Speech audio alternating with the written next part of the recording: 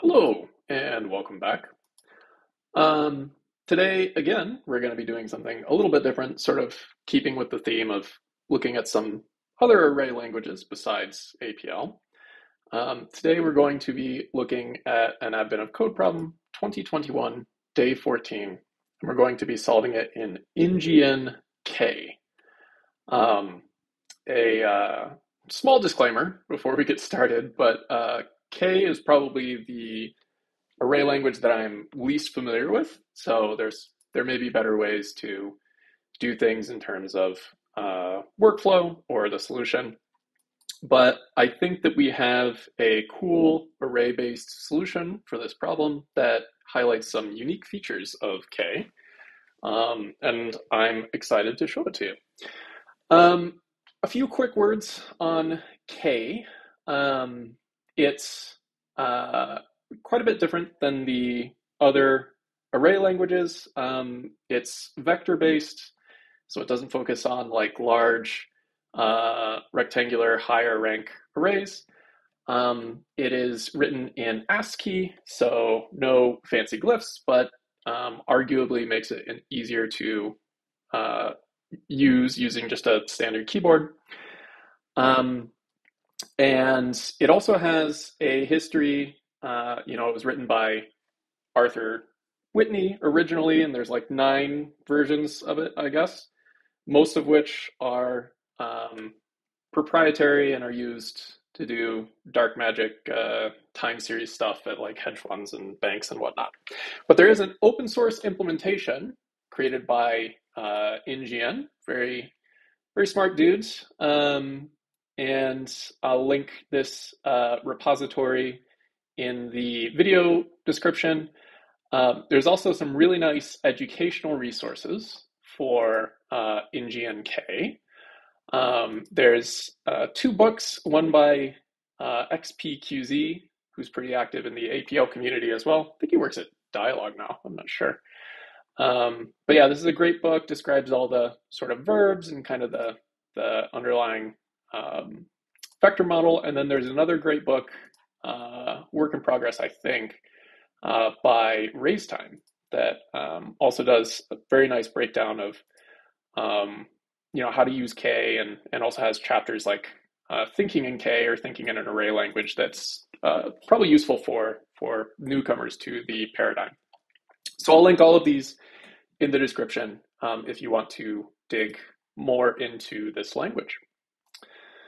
Okay, so 2021, day 14, um, again, skipping, you know, a bunch of flavor text and sort of getting to the point. The idea is that you have a starting string, so in in this case, and then there's a blank line, and then there's a bunch of transformation rules.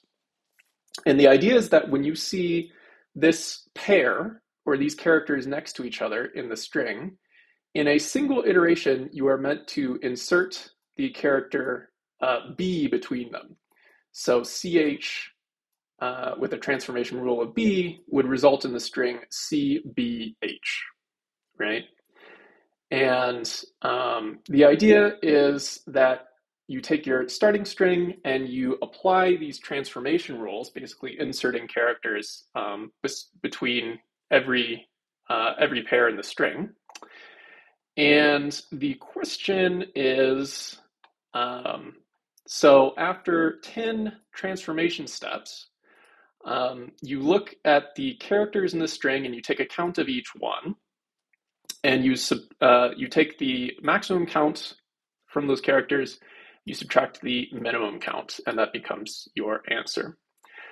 Um, now, in classic Advent of Code style, you might look at this and you might say, oh, well, you know, I can just like uh, I can just like build a string, or maybe I can be fancy and like use the link linked list or something, and um, just you know build the build the string and count the characters at the end. But of course, part two says, oh, actually, we're going to need to do this, uh, you know, for a total of forty steps.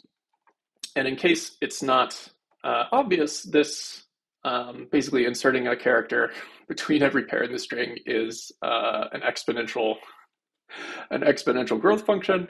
So when you do um, when you do you know 40 times your string you know, you can look at these character counts, these all occur like a bajillion times. So you will pretty quickly run out of memory and or wait for uh, weeks or months to, to solve this if you do this sort of naively. The strategy we're going to be doing um, is, you know, if you look at the problem description, uh, this is a little bit like there's a problem in previous years called like lanternfish or something like that. But the insight is basically that you don't care about the position of any of these pairs. Um, you just care about um, the count of each pair, right? And then at the end, you have some sort of function to like map um, from your pair counts to your character counts, and you can do your uh, max minus min calculation. Um, so the way that we're going to do this is um, like a couple of the other problems that we solved recently. Um, we're basically going to build a matrix, um, like a like a graph or a transition matrix, where each row will represent one of these pairs, and then um, the numbers in that row will denote um, how many how many pairs are generated uh, or which pairs are generated when we apply the transition rule. So like when we, uh, you know, when we generate a row in the matrix for CH to B, we will, um, it'll be zeros everywhere except for CB and BH, and we'll have ones at those locations. Um, that is the strategy. And, you know, by doing this and basically by grouping grouping by pairs instead of building the string, um, it should very easily fit into memory and um, the, the, the runtime should be pretty minuscule.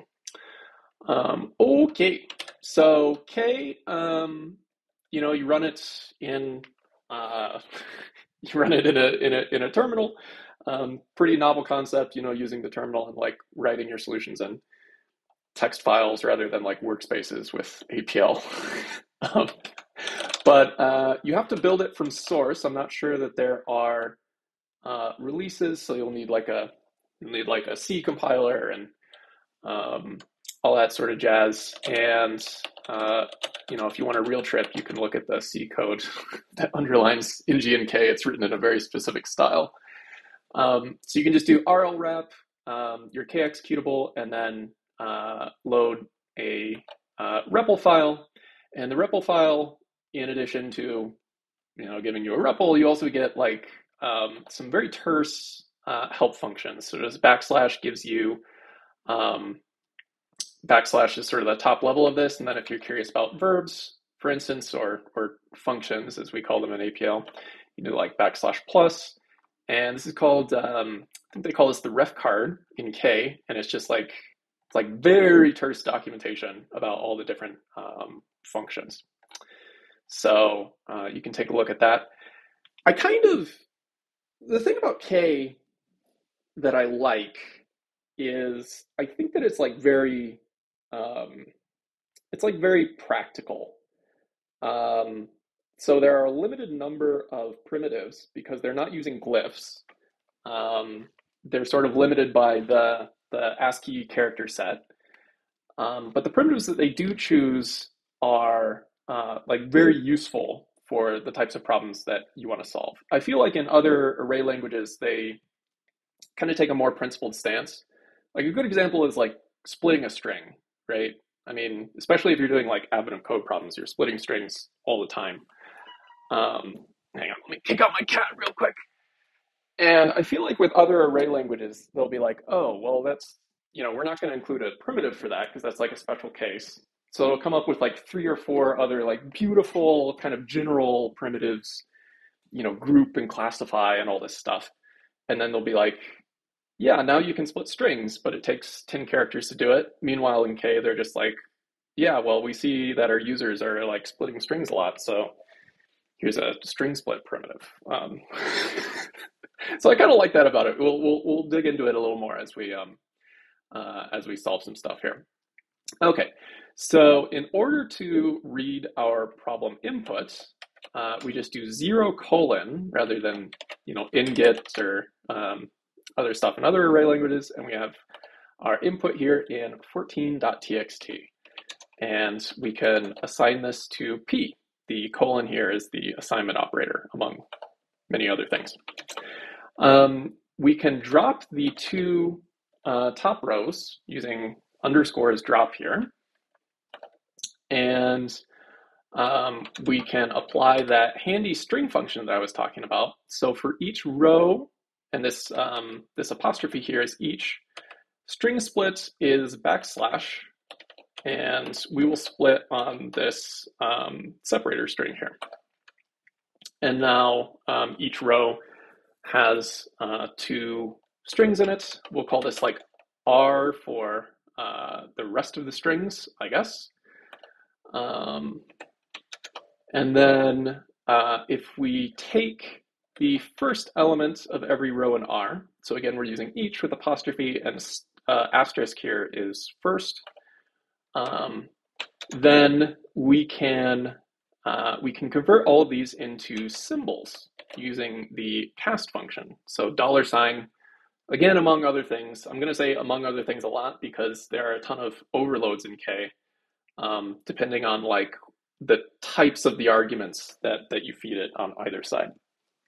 Um, we can convert it into symbols, and um, symbols are awesome. Um, you know, if you worked with like Lisps or I think maybe like Ruby has them, but the idea is that instead of um, instead of having like arrays of strings, you can in turn um, you can in turn them into symbols, and that's really nice because it reduces memory usage. So multiple copies of a symbol don't have any additional memory overhead, and then you get nice things like um, equality comparison between symbols is going to be done in constant time rather than like linear time if you wanted to do equality between strings. Um, so we have our list of symbols and we'll call this like I for identifiers.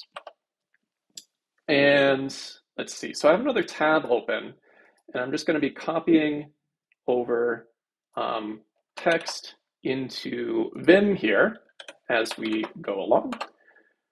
Okay, so that's our um, that's sort of parsing our inputs.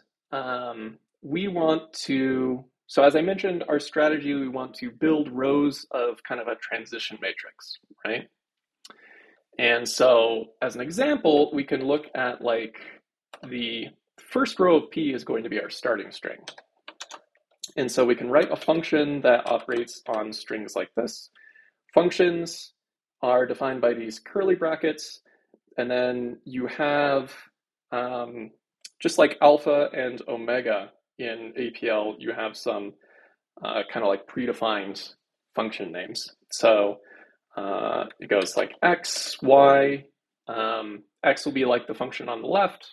Y or, or x will be like the value on the left. Y is the value on the right. And then you have more. You get like z if you want to call a function with a third uh, with a third argument. And then um, I think there's more. I think it wraps around to like A and B, but I haven't written any four argument functions, so uh, double check that one. Anyway, um, so the first thing that we want to do is we want to convert a string like this into a list of pairs. And so we can do a, uh, we can use the Windows function on X.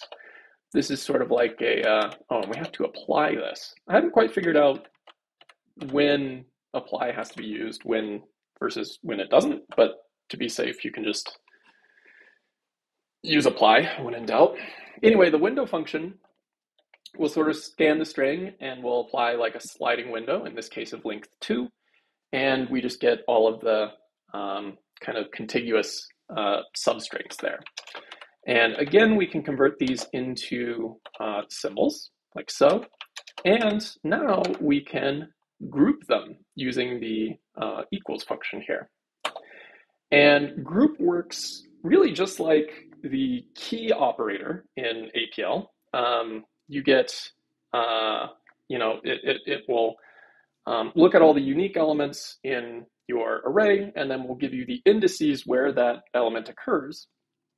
But unlike in APL, you get this new, uh, you get this new data type, uh, a dictionary. And uh, dictionaries are awesome. this is a unique feature to K that I haven't seen in other uh, array languages. Um, but they work. They basically work just like uh, they basically work just like arrays, including their performance characteristics. So don't get too excited. There's not um, you know there's not like constant time access like you might expect with uh, hash table in other languages. But basically, a dictionary is just an array where the the keys instead of being the natural numbers, right? So you can think of an array as when you index into it, it's kind of like a dictionary where the keys are natural numbers. Um, but here the keys can be whatever you want. In this case, they're symbols. And we can do stuff like, um, you know, you can basically just index into them. Uh, so like if I wanted, you know, uh, the symbol FH, I get the uh, according list. So pretty handy. Um, but anyway, we're not really interested in the indices where things are. Instead, we just want to know how many occurrences there are in the um, in our string. So we can do for each length. And you can see we have some symbols that have two occurrences. Most of them have one. Um, and now we're going to make use of another really nice feature of K. Um, so because this is a dictionary, we can index into it using our uh, list of identifiers. Um, but not all of the identifiers are guaranteed to be present in this um, in this dictionary that we built. However, um, you can see that where where those elements are not present, we get null values denoted by uh, zero in here. And this is really nice. Uh, just to give you an example, so like if we did you know, iota 10, this exclamation mark where it says iota here. Um, and then let's say that we wanted to index into it. We can index like, uh, you know, 7, 8, 11, 4, 16. You can see that um, rather than getting an error, like a like an index out of bounds error, you just get these null values. And those are handy because you can use things like the null fill function, this upper caret here, and you can provide kind of like a default value. So there's a really nice way to, to provide like you're indexing into something, and if it's not in the array or dictionary, then you can supply some sort of default value instead. Um, so for our function here, we will use this null fill function. And this is now a um, this is now a vector that uh, so for each each identifier in our list of identifiers, we now have a count of how many times that um, that pair occurs in a string, right? So we can call this function, uh, we can call this like b for build, I guess. And now, for example, if we wanted our uh, if we wanted our starting vector, we can run b on the first row of our problem input, and we get our starting vector, which we'll call s. And let's copy some of this over. So we have our build function and we have our starting vector. Okay. And now we want to build our sort of graph or transition matrix. And so let's take a look at R for the rest of the input, or rules, I guess could be another meaning for R. And the idea here is that we want to, um, so we have like a string of two characters in the beginning, and we have a single character string at the end, and we want to combine them into a three character string with this uh, second element in between.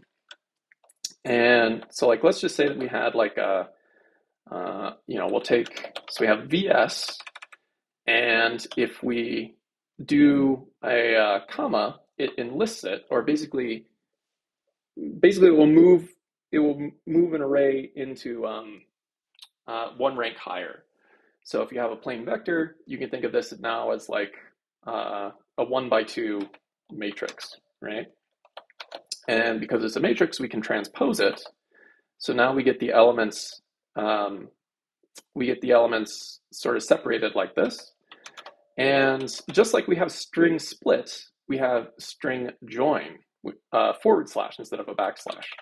So we can do like, I don't know, C to kind of join between these characters. And now we get VCS.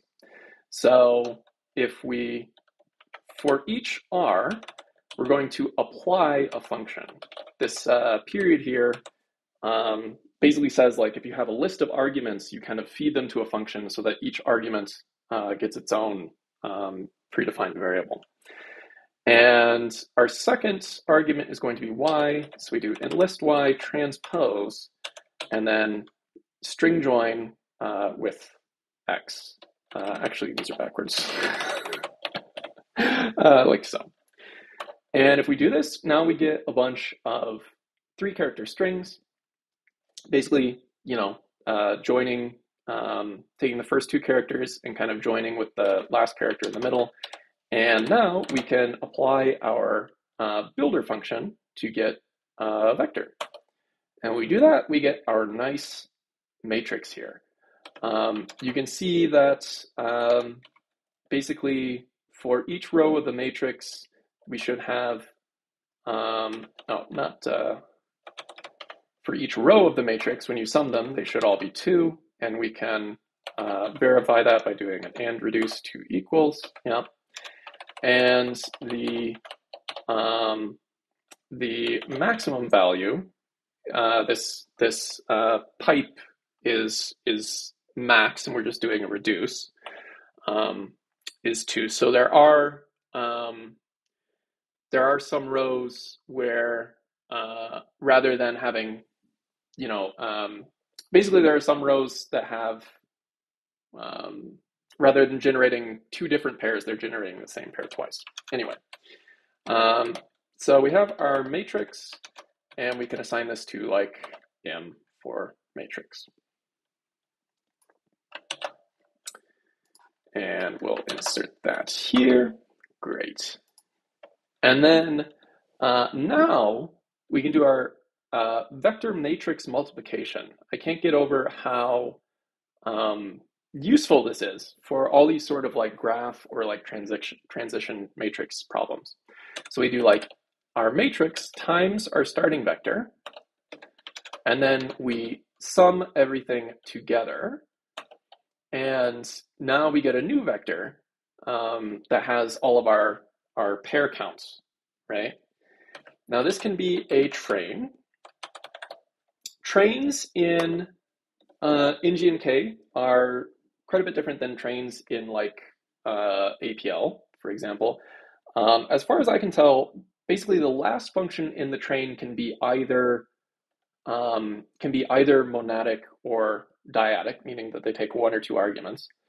And then you just like you kind of like stack a bunch of monadic functions on top of it. So there's no um, uh, to determine the arity of the train or how many arguments it takes. You just have to look at the last element.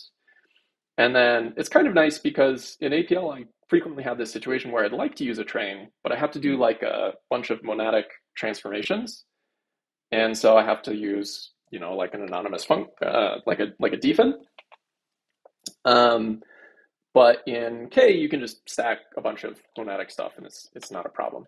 And now we can use something very akin to the power operator in APL. If we use a forward slash, which is normally reduce, but if you give it a monadic function and a number on the far left or an integer, it basically says, you know, perform this function in times, where n is the number that, that you give it. And so for part one, we want to run it 10 times and we can very easily do that. And this is now the, um, this vector represents the counts of each one of the pairs represented by our identifiers that, um, that appear after 10 repetitions, right? Now the problem is, um, the problem is that we need a way to convert these pair counts into uh, character counts so that we can do our our max minus min uh, function to find the, the, the problem answer. So if we convert all of our identifiers back into strings, which we can do with the uh, dollar sign function here, and then we concatenate all of them together, which you can do with concatenate reduce, we can do um, group, once again, um, to be able to get a dictionary uh, with all of the characters as keys, and then with um, indices where all of the characters appear. Um, now, the problem is we've basically doubled um, because we've trans uh, because we've translated each symbol, which is a scalar, into two characters. We've basically doubled all of the um, indices here, right? And so we need a way to transform these indices back into um, uh, like indices of our identifiers. And we can do that using um, integer division, or basically like division plus floor. And you can do that by supplying a negative integer to the um, uh, exclamation mark function here. Um, and now you can see like we have like 0, 0, 1, 1, 2, 2. Um, so this kind of like, this kind of buckets the, the indices into our, um, uh, into our identifier list. Now be careful with this. So as everything else in, in GNK, this function is like super overloaded. Um, if you supply a positive integer here, it becomes mod, right? And then when you are doing um, when you're supplying the negative sign for uh, negative integer literals, um, it binds more tightly than function application. So just make sure like you don't have white space here, or it can mean something totally different, basically applying negate over mods. um, anyway, we'll call this um, C for like uh, character dict. And we'll copy this over. Do do do. Alrighty. And so check this out. If we do like our identifiers indexing into uh, C, you can see how um, like with the V character, we get all of the symbols that have V in it, and the same with uh, S and H and whatnot. And importantly, for the duplicate symbols, kind of like um, like uh, KK here, um, I should pick a different symbol. Um, for like FF here, um, you can see that it appears twice, right? Um, which is important when we're, uh, so when we have like the counts of the symbols and we want it to, um, mm, if, if, so for like symbol FF, if there's a thousand of them, then by including it twice in sort of the row corresponding to character F, uh, when we add them all together, then it will count as 2000, which would be correct for, for that character. Um, okay, and now we can write a function. Let's say that we run it on 10 to begin with. And the idea is that we have x times uh, some matrix times over our starting vector, right? So these are our weights and we can um, we can index into C uh, to get all of the to, to basically bucket the the um, pair counts by by characters. And now for each one of those rows, we can uh, sum them, right? So these are all of the character counts by pairs. Uh, but the problem is, the problem is basically that, so like if we look at the first row of P, you can imagine mm, each one of these characters is going to be get counted twice if we're going by pairs. So like this F here is a part of VF, and it's also a part of FH. And so we could just, you know, it would be nice to say, oh, we could just divide by two, um, because every character is counted twice, but actually the first character and the last character are only counted once.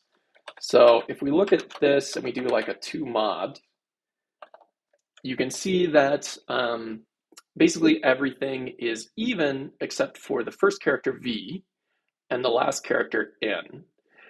And so what we want to do is we want to divide by two, but then we want to um, we want to use like a ceiling function uh, to be able to account for um, those those two characters, right? Now there's no ceiling function in uh, in GNK, but what we can do is we can sort of get around it by negating everything and then doing that same integer division with flooring towards negative infinity. And then if we negate everything again, this kind of works. Um, this basically works as like, uh, you know, integer division with with ceiling, right? And these numbers are now our true uh, character counts. And in order to figure out the uh, maximum minus the minimum, it might be nice to have a function for that. So let's have a function called like d for diff. And the idea is that we take the uh, minimum of our arguments and we subtract it from the uh, maximum of our arguments, right? And now we can just do d uh, apply to get our part one answer of 2988, uh, which is indeed the answer. And if we run this uh, 40 times, you get a rather larger answer, 357, 276, blah, blah, blah, um, which is indeed our answer for part two. So let's call this function uh, f, I guess, and then we can just run it uh, for each of 10 and 40, and this gives us our uh, part one and part two answers. So we just copy this over here, uh, like so. And this is our complete answer in ngn/k for um, 2021 day 14. However, I mean, this is like this is like pretty readable with uh, you know everything on its own line here. Oh, we don't have our um, uh, we don't have our difference function. Let's get that in there. Might be faster to type it honestly rather than copy pasting everything. Um, however, if you look at a lot of K codes, I mean, you have this line that's like taking up a lot of width. Same here. Um, you can uh, you can separate lines using the semicolon character, uh, like so, and maybe um, hmm, I guess like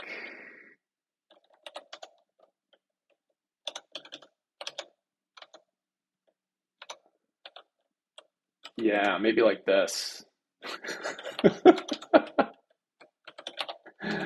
Uh-huh. Yeah. No, this looks this is K right here. I feel like I look at a lot of K code and it's just like it's just like it's just like a brick of code, like a very dense brick. And uh yeah. Uh anyway, this should uh if we uh write this file into 14.k and we get out of our REPL here, we should be able to do .k, 14.k, and get our part one and part two answers. So that is ngn/k. Now this final solution here does kind of look like someone knocked the serial cable loose on your VT220, but um, I don't know. I kind of, I kind of like it. Uh, as I said before, um, I think K is really interesting. I, I get kind of like a more practical feel from it than a lot of other uh, array languages. Um, you know, features like dictionaries or the um, the uh, getting nulls on uh, outdexing. Um, this kind of stuff is like very handy when uh, when you are solving problems. Um, it takes a little bit of time to get up to speed with all the different functions and overloads and kind of like special cases. Um, but once you do, I feel like this is like uh, this is a this is a great language to do kind of generalized problem solving in. Um, and it seems to be really good for Advent of Code too. Actually, ngn, if you want some code examples, he uses uh, Advent of Code solutions for like his unit tests. So he has you know almost all the years here, and you can just go into a directory and um, you know you can check these out and work through them on your own time. I think this is a really good way to um, to learn K and sort of some of the tricks of the trade and and see um, uh, you know some some some good array based solutions. So anywho, that is uh, Advent of Code 2021 day 14 in ngn/k. Uh, hope you enjoyed. Thanks for watching.